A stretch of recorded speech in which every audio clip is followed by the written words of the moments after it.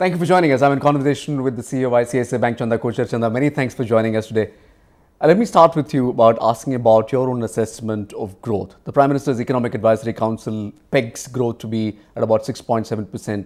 The Reserve Bank of India yesterday says growth will perhaps be the same as the previous year. What is your own understanding of how growth is likely to pan out? I think the growth would be somewhere in that range of six to six and a half um, because I think there's still the consumption momentum that is driving the growth. Uh, what we are losing out is entirely the momentum on account of you know lack or slowdown of uh, investments. Mm. But uh, you know we have to just say that we are pretty fortunate that we have the consumption momentum mm. that can still give us uh, this kind of growth. The Reserve Bank of India, ma'am, in its report puts the ball back in the government's court and it says you need to be taking fiscal measures to ensure growth comes back on track. What do you think the government needs to be doing to win back investor confidence, to bring back business confidence? I think uh, you know the three four things which, uh, in my view, are you know to be done here and now. Uh, if we have to bring back confidence from across the communities, whether it's investment, whether it's business, whether it's you know the outside world. Uh, one is uh, clearly actually improving the whole sentiment around investments uh, and there uh, you know we have to get some of the existing projects up and moving. I mean we have a lot of investments that have actually fructified in the last many years or couple of years. Uh, you have so much of power capacity that has been built, but you know finally not becoming productive either because coal is not available or the final environmental clearances for the mines are not available and so on.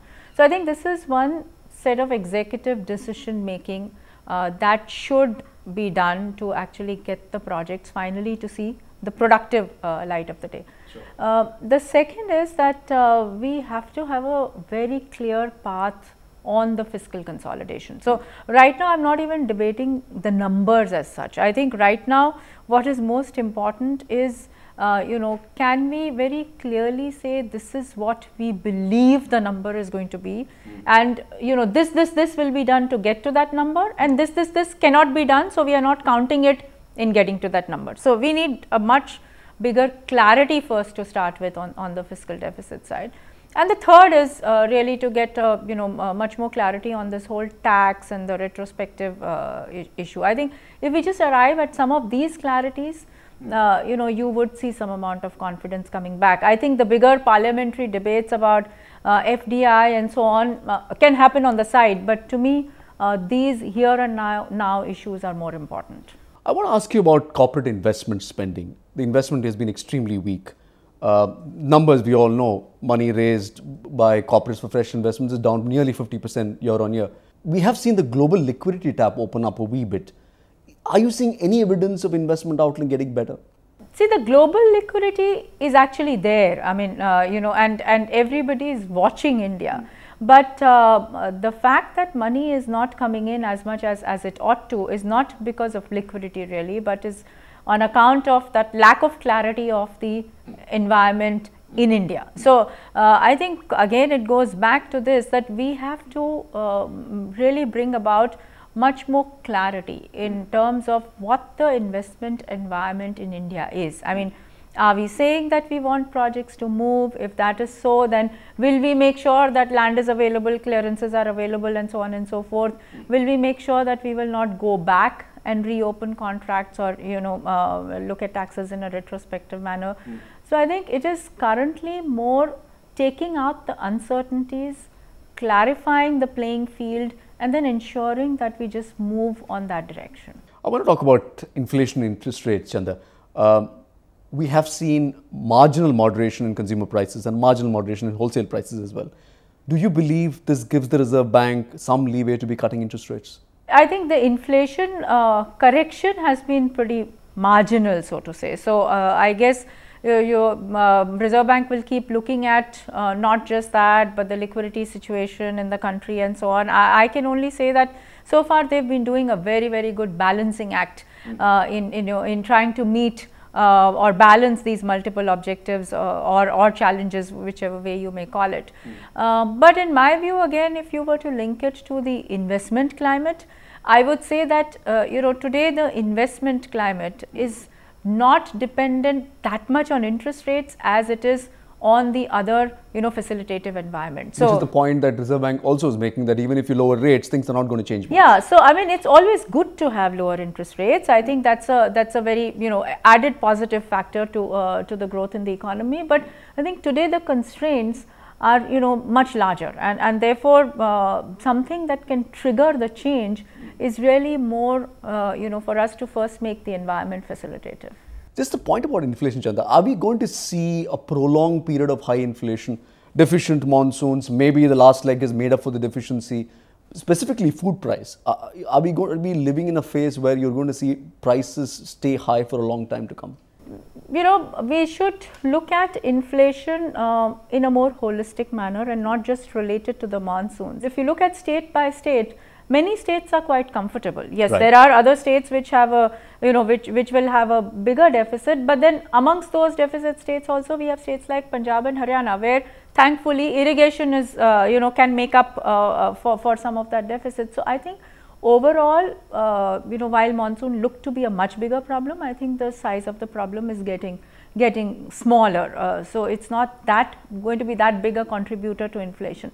Sure. But in general, I think we are going to see inflation remaining high in our economy for some time for the sheer reason that consumption growth is exceeding production growth or capacity creation growth. So, in a way this is fallout of our demographic dividend to say that we have people who are earning, who want to consume, who are aspiring and therefore there is demand. Now, what we need to do in a country like this is to actually back it up with continuing to create capacity. Sure. And and that is where uh, you know then um, uh, that is that is really the more sustainable way of controlling inflation. That's not happening say. fast enough. Yeah, that's not happening fast enough. I want to shift focus now to the. Uh, the banking industry. We're now talking at a time when asset quality concerns are hogging the headlines every other day. What's your own view on, on, on asset quality concerns for the industry as a whole? See, uh, one thing is for sure that uh, you know whatever happens uh, in the economy as a whole, uh, I think in every which way impacts the banking sector because uh, the banking sector rides on on the on the economic environment. Uh, but having said that, I just believe that um, currently the kind of perception about the asset quality of the banking sector is probably over exaggerated. So, so we don't have any problems. no, I would say the problems are not as as uh, acute as uh, I, I think the perception is. So, so, so let me put it like this. I mean, uh, is there a problem about some projects getting delayed? Yes, there is. There are projects that are getting delayed. There are projects that even if they uh, are complete, uh, you know, are probably not operating at their desired capacity because some linkage or the other is not yet fully come. So, I think those those kind of issues are there. That means we have to monitor those projects, we have to see what needs to be done. But I think the bigger issue is that in a growth economy like ours, you know, when you look at a project period of 15 years or so, I think a one or 18 one year or a 18 month uh, you know postponement in cash flows mm. does not really make those projects NPAs for their life. Sure. So, we have to remember that we are actually living in a growth economy and the issues that arise uh, of this kind now, are of course issues for an immediate term, but they uh, they generally the projects get worked out over the longer period and and that is that is I think that is what I mean by saying that the worries are, are a little over exaggerated. On the other hand, when you look at the retail side of the portfolio, actually whether it's housing loans or you know car loans and so on, in any case the quality of those assets is very stable because the individuals still have their jobs, they're sure. still earning and they are still uh, paying for their loans how do you assess the way banks are treating their restructured assets? I'm asking this in the context of the new guidelines that have come by, from the Reserve Bank of India. Uh, is that changing the game? You know, if you look at the experience of the banking sector, um, actually the migration or the deterioration from restructured to NPAs has not been very high in the past. Um, in fact, for, for a bank like ours, it's only been 5 percent of the restructured assets that have finally become NPA. Uh, more than 90 percent have actually got worked out and really it comes out of my belief of, uh, of saying that we are a growth economy.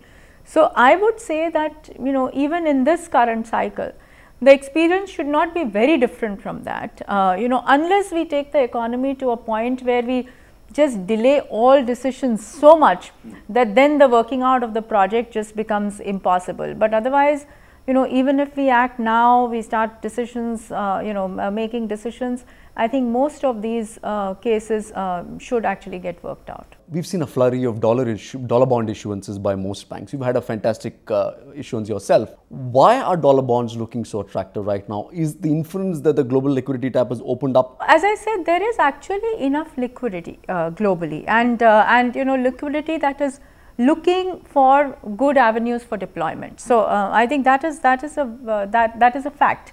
Uh, it's really uh, the issue is in fact we are not getting as much liquidity in as there exists because of the concerns that you know are there um, about the investment environment and so on and the tax environment around the country. So I think whenever the investors see an opportunity of a good credit risk that they like, um, there is there is a great response, and we we really uh, were very happy with the response that we got for our uh, bond issue actually. What about the liquidity in the in the domestic banking system, Chanda? Would you say there is enough? It, it's comfortable right now.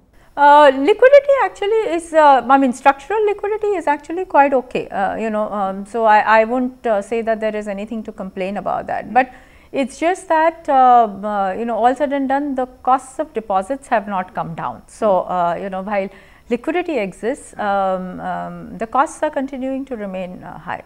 There is a view that is now coming saying do away with the CRR. It's unproductive. Nobody pays interest. The, the RBI doesn't pay me interest. What's your view on that?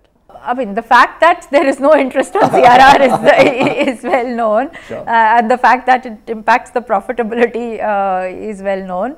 Uh, but I think on the other hand, it serves a different purpose which, uh, which the regulators uh, have in mind. So, I think if you just ask me as a banker, um, you know, would uh, payment of interest on CRR help? Uh, I would of course say always it would help. Just a, you brought the question about or the point about the retail business. The retail business clearly has been, you know, gathering momentum for you. Do you see that as the growth driver? Do you see increased competition? um, in this in this space because everyone seems to be going after what has been fundamentally your domain? I think the retail business has actually been growing at very stable levels. Um, you know, when I say industry as a whole, uh, which is what I was referring to our demographic dividend that individuals are continuing to earn, they're continuing to aspire, and therefore they're continuing to build assets. So. Uh, clearly actually therefore uh, I think that our growth will come both from the retail and the corporate side of the business and uh, for the past couple of years we have consciously brought we had rather consciously brought down the growth on the retail side mainly because we were reducing our unsecured retail loans. So, now that that correction is over and in fact you know our unsecured retail book is a much smaller percentage of our total book uh, we are really back into growing our uh, our retail uh, book and you know the past few quarters you've seen that the rate of growth of uh, whether our housing loans, car loans etc. has accelerated and yes going forward we would continue to see growth in this business for us. How are you positioned yourself in the home loan space? What is the strategy? What is the game plan there? If you look at the product, uh, actually it's quite a commoditized product now because you know there's not too much difference uh, in the product really being offered uh, by, by various uh, players. But I think what matters here is uh, the speed at which you turn around um, uh, the loan application of a customer, the efficiency with which you deliver the product and your ability really to have a multiple relationship with your existing set of customers. So, I think uh, for us the, the competitive strengths are our distribution network, our you know uh, more than 2500 branches, our 20 million uh, customer base uh, and the fact that you know our turnaround times etc are, are uh, very efficient and fast. My last question to you Chanda, you're, you're the, the leader of an extremely large organization. To your mind, what are the risk factors in a volatile environment like this? I think the fact that the environment is volatile itself is a big risk factor because I think uh, the issue um, is that you know all we leaders have to realize that as we steer the organization, uh, we have to continuously and in a very dynamic manner keep looking at our strategies and keep calibrating them with the way environment moves. So, I think that is the big change as I would see compared to the yesteryears where uh, you know while you may plan for one year, three years and five years, um, every few weeks there is something different happening in the environment and you have to be nimble and flexible enough to be able to readjust and re-steer, uh, you know, your decisions. So I think that is one of the biggest things. Uh, beyond that, of course, I think uh, the whole uh, issue is that this is the point where you have to manage or balance uh, growth, profitability, and risk appetite. So you you have to grow uh, because we are a growing economy, and I think our, our final growth would co come as as we all ensure that we all grow. But at the same time, the risks in the environment are developing so quickly and changing so quickly